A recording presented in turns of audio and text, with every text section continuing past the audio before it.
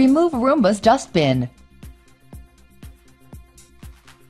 Then, remove Roomba's faceplate by pulling up from the bin. The faceplate is secured in several places.